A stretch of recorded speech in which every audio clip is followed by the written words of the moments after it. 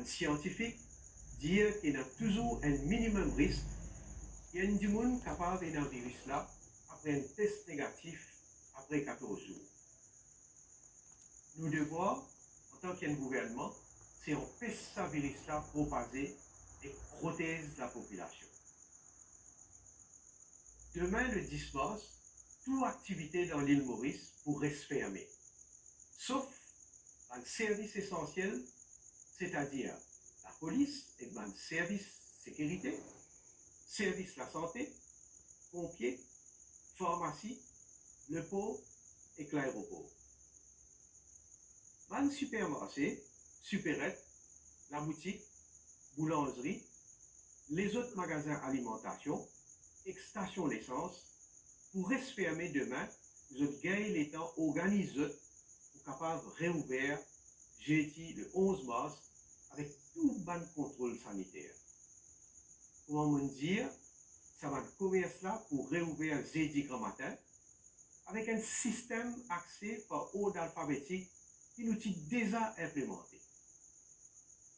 Par l'autorité, ou bien sévère, nous respectons la consigne sanitaire pour mettre masque en public et social distancing. Comme on tout connaît, toute bonne activité de prière et religieuse déjà annulée.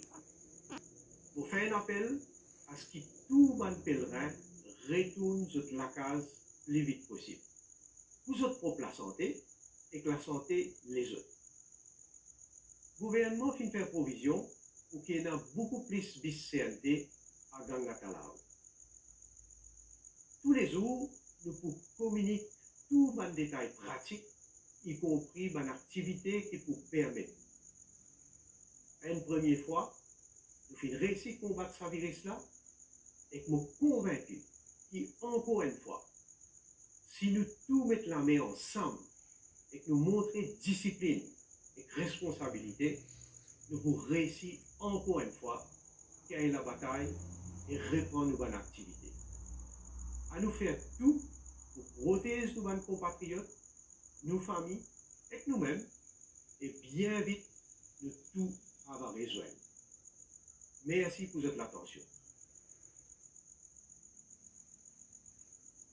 Voilà, donc euh, c'était le message à la nation du Premier ministre Pravin Jagnat qui vient d'annoncer un confinement à partir de demain 10 mars, confinement euh, qui prend effet à partir de 6 heures demain matin et qui s'échelonnera jusqu'au 25 euh, mars prochain.